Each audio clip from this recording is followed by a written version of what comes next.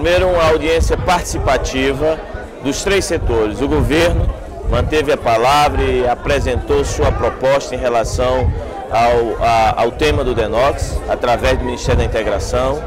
Ah, os parlamentares que aqui presenciaram, a bancada do Nordeste, quase todos tiveram uma passagem no debate hoje da audiência pública e os servidores.